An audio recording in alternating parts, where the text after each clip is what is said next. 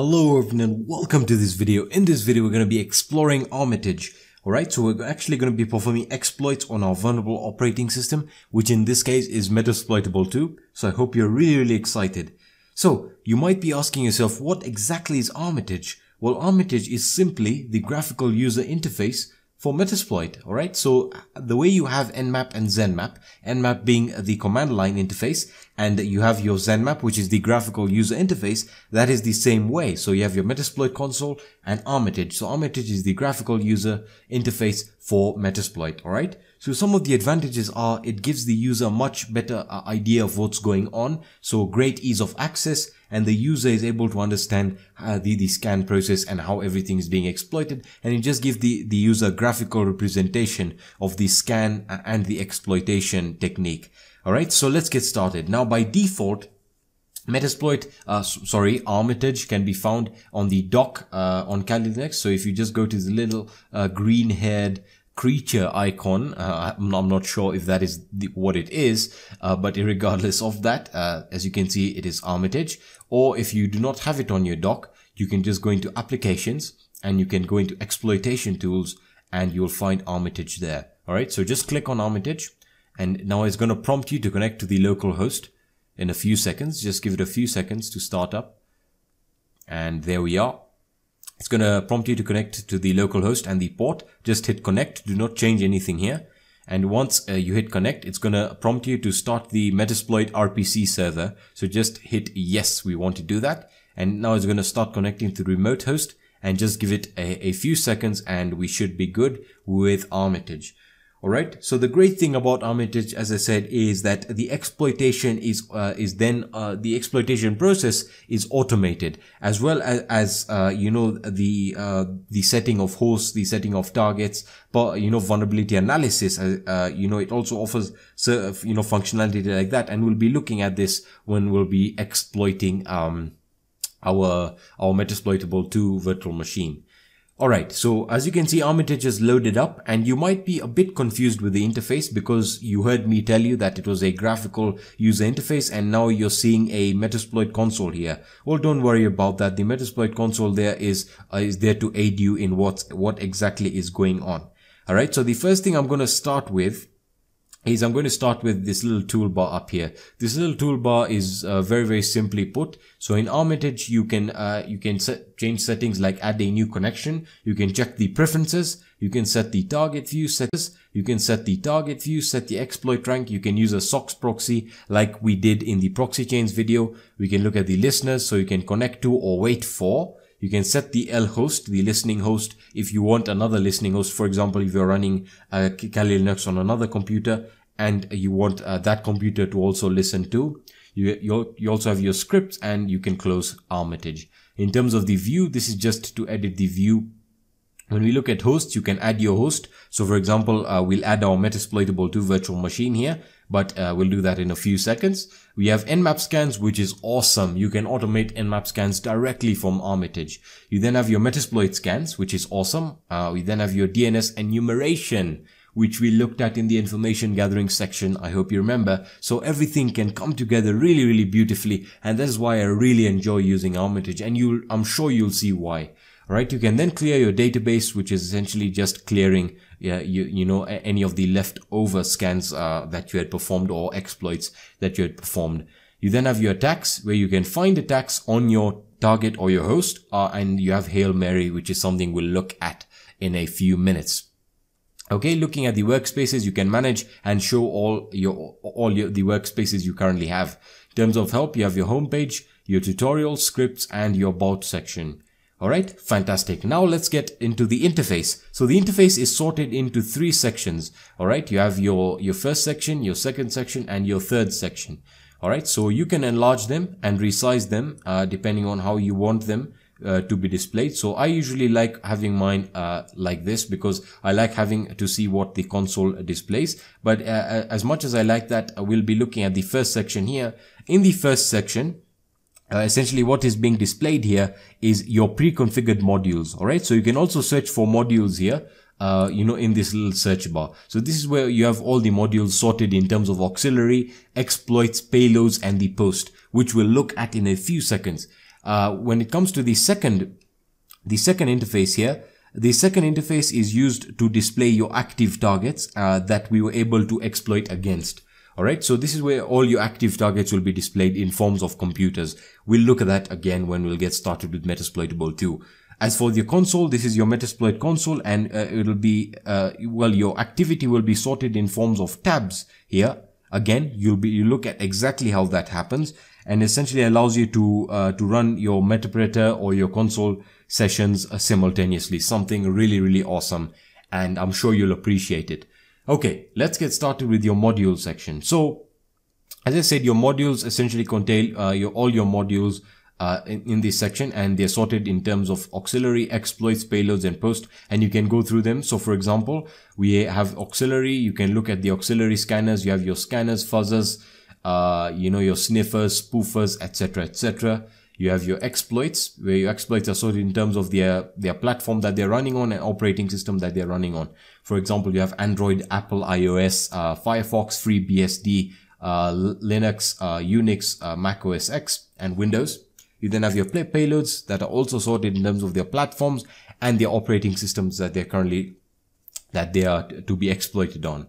Alright, you then have your post, which is also similarly sorted in terms of their, uh, their, their platforms and the operating systems that they are designed to be exploited on. So let me just close every one of this. And as I said, you can also use the search, uh, the, the search bar here to search for the Metasploit uh, modules. Alright, now let's get started with some actual uh, exploitation. And we're going to start off with Metasploitable 2. Alright, so what we're going to do is we're going to go into hosts. Alright, now in hosts, you can import hosts or you can add hosts. We're not going to add a host yet. And the reason is I'm going to use an nmap scan to also perform some information gathering while adding the host. So what I'm going to do is I'm just going to go into nmap scan and I want to perform a quick scan that will detect the operating system that is running on our target or, or, or our host for that matter. So I'm going to click on that and now it's going to prompt you to enter your host IP address or your target IP address or the range if you want to scan your entire network. In this case, what I'm going to do is I'm just going to get the IP address for Metasploitable 2, which as you can see here is 192.168.1.106. So we're just going to enter that right now. Excellent. So once we hit enter, it's going to perform the nmap scan and it's going to detect what operating system is running. Now, as I said here, the activities are going to be sorted out in terms of tabs. So your console is still open and your nmap uh, scan is still uh, ongoing here or it's, a, it's just started and you can run them both simultaneously, which is fantastic, right? So the scan is done and it should give you a prompt here saying the scan is complete. Voila. So uh, it's going to give you an option here saying use attacks, find attacks to suggest applicable exploits for your targets. Interesting. So I'm going to hit OK. And what do we have here? Well, we have a little cute little penguin here to represent Linux. So we know it is running uh, Linux 2.6 uh, and the kernel is not specified more than that. All right. So, you know, uh, you can see the services and the ports that are the ports and the services running on these ports uh, with the nmap scan. So we are able to get information about our target. And now we, we understand what operating system is running on it and we can see the services running on the ports. In the previous video, we looked at exploiting the FTP protocol or the FTP port with the FT, the F, uh, the VSFTPD uh, backdoor. And how did we do that? Alright, the first thing we did is we know that it exists as an exploit. So we're going to go into our modules and I'm going to show you exactly how to find it. So we're going to go into exploits and we, we are going to go into Unix because it is a Unix, uh, it is a Unix exploit. And once I click into Unix, we're going to then select the protocol, which in this case is the FTP protocol right here. And we're going to expand that and voila, you have your SVSFTPD 2.3.4 backdoor. So if you want to, uh, if you want to execute this, what we do is we just double click it. Right. And once we double click it, it's going to give you the options that we used in the previous, uh, or we used in the Metasploit console, uh, options like setting your R host and the R port. So by default, the L host, which is your listening host, which is your IP address, uh, is default is set by default. So 192.168.1.107 and the default listening port is also set, uh, by default all you have to do is just enter your R host, which in this case is 192.168.1.106, and we will exploit the backdoor using the FTP service. So 192.168.1.106. And once you're ready, you can just hit launch, all right? And it's going to launch the exploit. So just give it a few seconds and it's going to open up a new tab over here, the exploit tab. Just give it a few seconds here. And there we are, found shell, command shell open and voila, we have backdoor access. Now you might have noticed something also very, very interesting the Linux computer here is now uh, surrounded by lightning or electricity and is turned red. Now this means that we have successfully exploited this system in one way or another. Alright, so this is fantastic. Everything is automated really, really well. But now you might be asking, I want to exploit more things with Metasploitable. What can I do now? Alright, tell me what I can do. So what we're going to do is we're going to close up this menu here. And what uh, the, the awesome thing here, as I said, is the automation. Uh, but before that, I'm just gonna, um, well, if I look at the shell that's running, uh, if I right click, sorry about that, if I right click on the target, we can see that it gives us options to log into the default network services. Now that is something just, uh, you know, very, very common. Once you've cracked them, if, if the cracking process is possible, you can then log into things like the FTP protocol, the HTTP, MySQL, SSH, you get the idea. Now the shell that we created, which is what we, the, the exploit that we used, allows us to interact with it. We can then upload, we can pass the session, we can post modules and we can disconnect.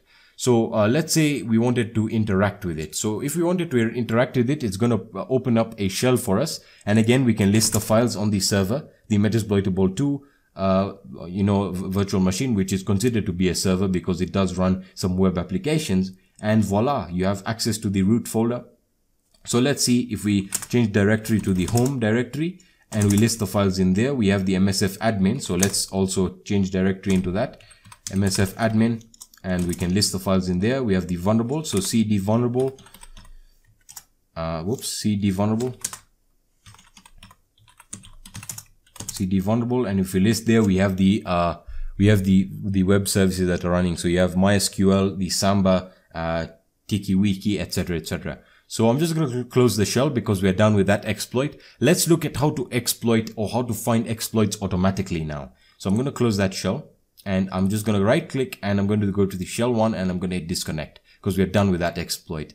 Right. So once it's disconnected, it's going to remove the little uh, icon that denoted the fact that the uh, operating system or the computer was, uh, was exploited. Now, you might be asking, well, how do we, you know, how do we exploit it automatically or how do we find exploits automatically?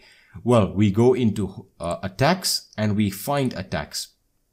All right. So now it's going to find attacks that you can run on the operating system or, or the computer. In this case, our, our target host, which is the Metasploitable 2 virtual machine. So as you can see, it's going to, it's going to query the exploits and just give it a few seconds to go through all of them. And once it's done, it's going to give you all a, a, list of the compatible exploits that you can use or exploits that can actually uh, exploit a vulnerability on your uh, on on your on, on the operating system or the target that you've chosen. So if we right click now and we go into attack, you can see that it's listed all the services uh, that we can crack. So if we go to FTP, we have the VSFTPD backdoor here. We have the pure uh, FTP bash uh, execution here. You can also check for exploits again. You have your telnet, you have your HTTP vulnerabilities. So these are all uh, vulnerability uh, or exploits that you can run on this virtual machine. Uh, so if we go to, for example, something like the web app, we can, um, or let's let's get something more practical. Sorry about that. If we go into the MySQL, so we only have one exploit for the MySQL uh, database. So if we click on this payload if we load it and uh, let's see if everything is set correctly the r host the r host there we are. That that's okay. So we're just going to launch. Or let's see if we can get any information.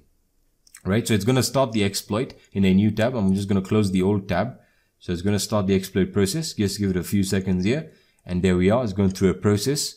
Uh, for some reason uh, the mysql function system execution is not available. So yeah this exploit did not work. Now this is what i was talking about. Now it is going to work.